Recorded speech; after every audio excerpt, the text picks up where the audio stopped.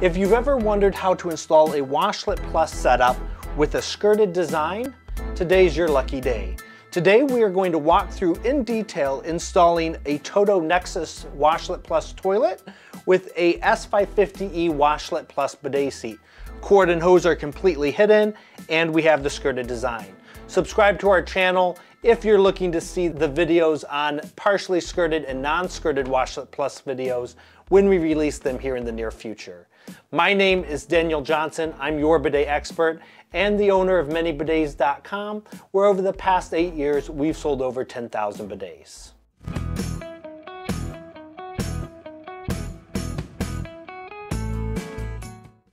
So the first thing we need to do is we need to use the template to decide where we need to drill holes in the floor. For the Nexus, you can have either 12 or 14 inch rough-in. Both require different adapters. Some of the Washlet Plus toilets, like the Aquia 4, have a 10 inch rough-in option as well. So here we see the 14 and the 12, but on some mounting templates, you'd also see a 10 on the opposite side of the 12 line. We're dealing with a 12 inch rough-in, so I tore the perforated edge for the 12 inch circle. And now I'm going to take this template and place it over the flange. We're gonna line it up here so that it's as centered as we can have it here real quick. And now we're gonna grab a drill and drill holes here, here, and here. If it makes it easier for you, you can tape this down while you're drilling the holes since we're not actually installing this in a real bathroom, I'm just going to hold it in place.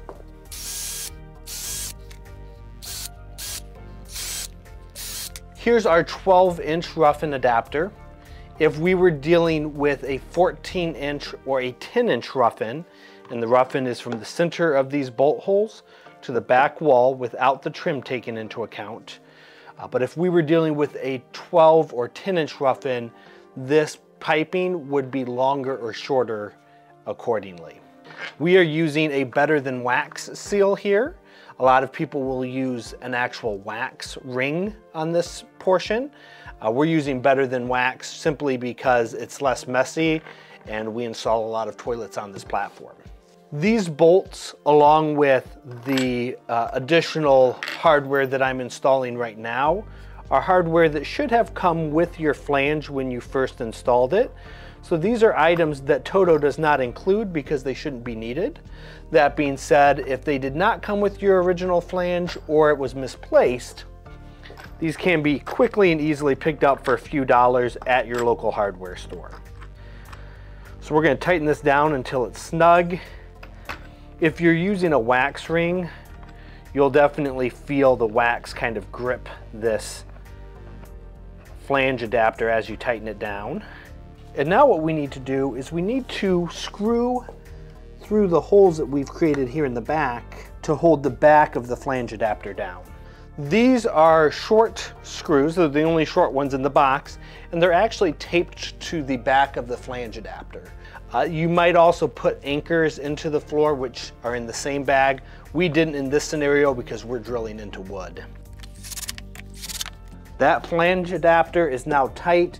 Again, remember this is our 12 inch flange adapter. And so we're working with a 12 inch rough-in This should work just fine.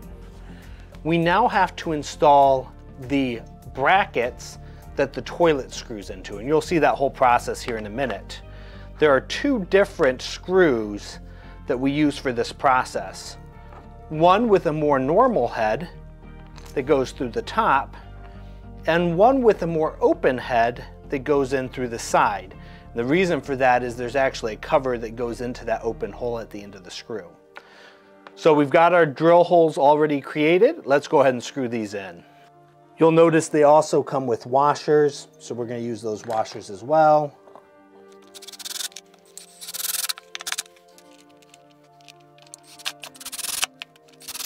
And now it's time to lift the toilet onto this uh, apparatus.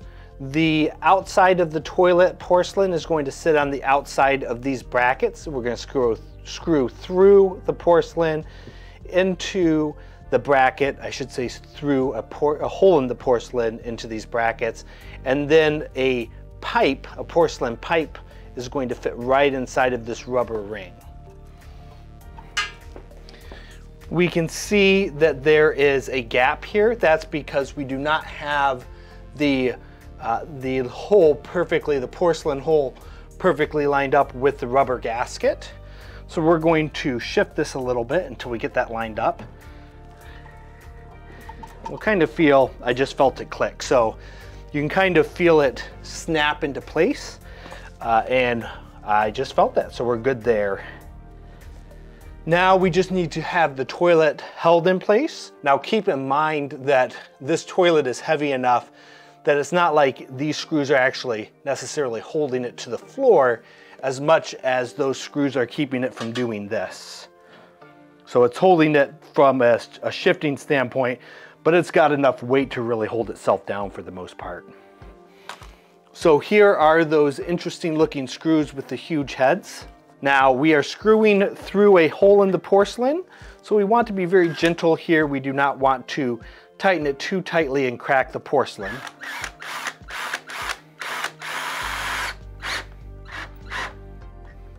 And once we've got it snug-ish, we, we have these little clips that go on top and cover that hole. And that's why there's that big hole in the end of that, of that head. We do the same thing on the far side. And now the toilet is firm. Now you'll notice on this lid, there's a little opening here. This is uh, something that will be utilized if you're using the auto flush kit. Uh, there will be a link in the video description to Toto's auto flush video for this unit. Uh, they do a very good job walking through how that auto flush kit gets installed. So uh, watch their video to learn how that piece of the puzzle works. So now we're going to install the seat on top of this Washlet Plus toilet. Now keep in mind that this is a Washlet Plus toilet specifically because it has this hole that allows the cord and the hose to be routed through the base of the toilet itself. So this hole is what makes it a Washlet Plus toilet.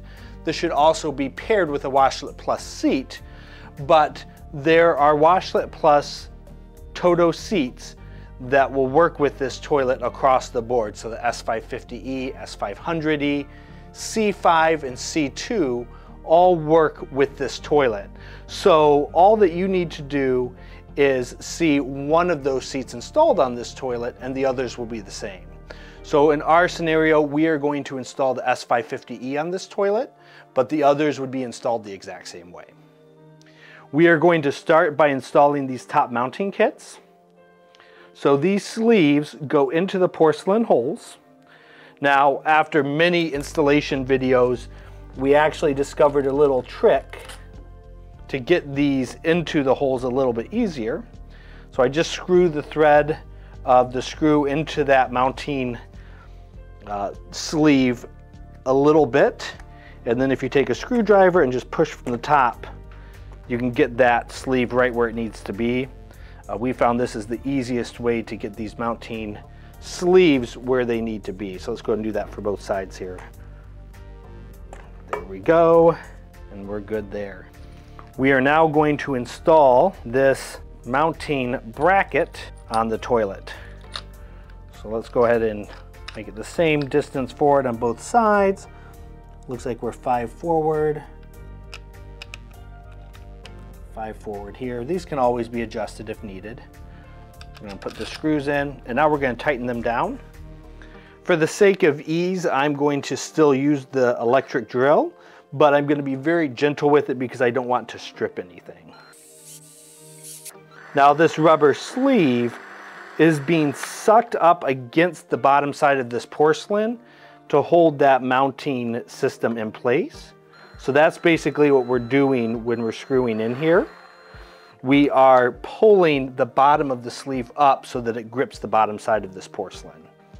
And both sides are nice and tight now. Now that we have the mounting plate installed, we're going to install the bidet seat. So you'll notice that the cord and the hose are situated differently than you'd see on a normal bidet seat where they come out of the side. And this allows us to route these through the toilet. So we're just gonna stick these into the toilet here and do the same thing for the water supply hose. set this on top and then pull these guys through as I slide the seat into place. And now that toilet seat is in place. One of the common questions we get is, should there be a little bit of wiggle here? The answer is yes.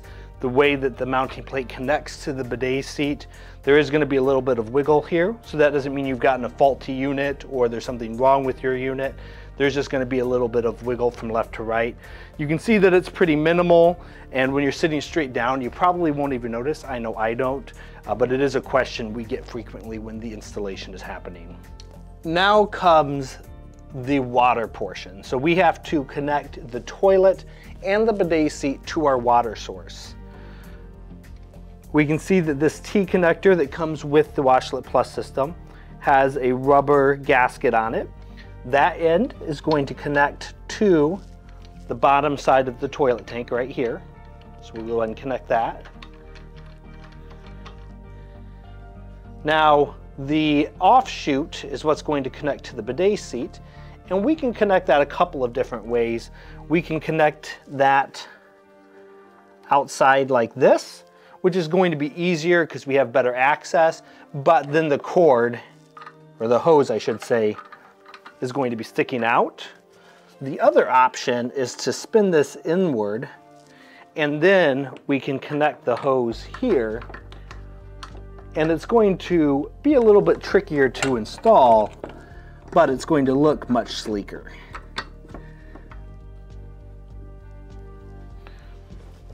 It's also important to note that there is an O-ring on the end of that piece that keeps the, uh, the seal tight. Last but not least, the water supply from the wall gets installed on the bottom. All of these connections are simply hand tight. Now we take the plug and we either plug it in over on this side or as in our case, since the plug is on the opposite side, we route it through and plug it in over here. So now we're set to go. This washlet and toilet are ready to be used. One question though we frequently get is when pairing this unit with an auto flushing system, Customers will grab the remote and see that there's no flush buttons on the top of the remote and tell us, hey, you sent us the wrong seat. The remote doesn't have flush buttons on the top. Fortunately, this is rarely the case. And the reason for that is that this black panel on the top actually pops off and a new black panel with flush buttons gets installed on top of the remote that you already have. Now in order to access that panel, you would need to open your auto flush kit. The auto flush kit has this unique symbol on it, uh, and you're gonna see the auto flush or flush unit verbiage on the sides of the box. Uh, and then on each of the other two sides, that unique symbol as well as on the top of the box. So this is your auto flush kit, which not only includes the hardware necessary to connect your toilet seat to your toilet tank, but also includes the hardware to switch out the top of the remote. So just because you don't see those flush buttons on the top of your remote does not mean that you received the wrong bidet seat. It simply means you probably still need to open up this auto flush box and install that auto flush kit. If you're wondering how to install this, you'll want to check out the video description as we'll have a link to Toto's auto flush tutorial which walks through the entire process in great detail. So now that we have everything installed, it's time to make sure we don't have any leaks. We're gonna turn our water supply on here. This particular one, we're dealing with a quarter turn, but there are other styles. There's the pole, there's the multi-twist. But for ours, we just have a quarter turn. And we can hear the water entering the unit. While that's being done, I'm gonna feel my connections to make sure we have no leaks and we are leak free, which is great. With metal connectors, uh, sometimes cold can be mistaken for moisture. With these plastic connectors, that's not so much the case. So it's pretty easy to tell with Toto's connecting system whether or not we have a leak. And thankfully, in this case, we are leak free. Uh, if I did have a leak, I want to turn the water off, drain the tank, and then make sure that I checked all of the connections again, unscrew and rescrew to uh, maybe fix cross threading or whatever the case may be. So we've connected it to water, we've checked for leaks, no problems there. Now it's time to plug the unit in. We can hear a few sounds as the seat starts to boot up. And I walk in front of the seat, I see the lid open, I see the pre-misting kick on.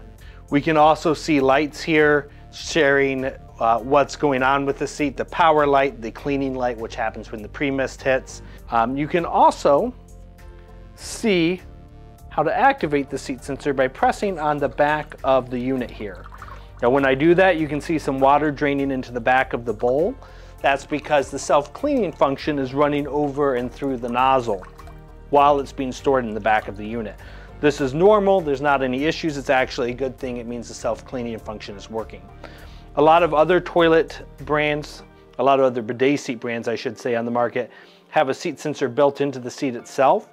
But Toto is a little bit unique in the respect that they put their seat sensor back here in the back.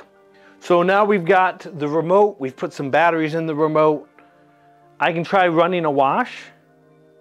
I see that the remote lights up, but nothing happens. Pretty common question we get, why is my seat not working?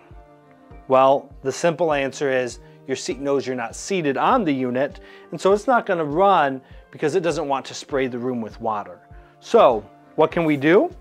Well, we can activate the seat sensor by putting weight on the back and then trying a wash. So I press the button on the remote and we can see that the wash starts.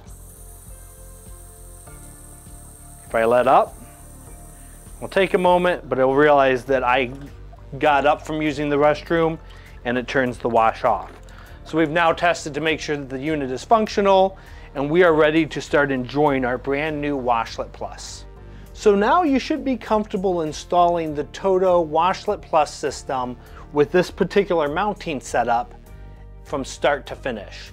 Now let's say that there are some questions that you have that we didn't address. Don't hesitate to reach out to us if that's the case.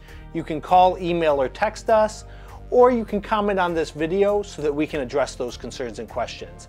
To get our contact information for email or phone call, visit our website, link is in the video description, or look for our contact information in the video description as well. Thank you so much for watching. If you're looking for a different Washlet Plus setup that you want installation help on, feel free to subscribe to this video as those are coming next. Thanks again and have a great day. ManyBidets.com, where we sell mini bidets, not mini bidets.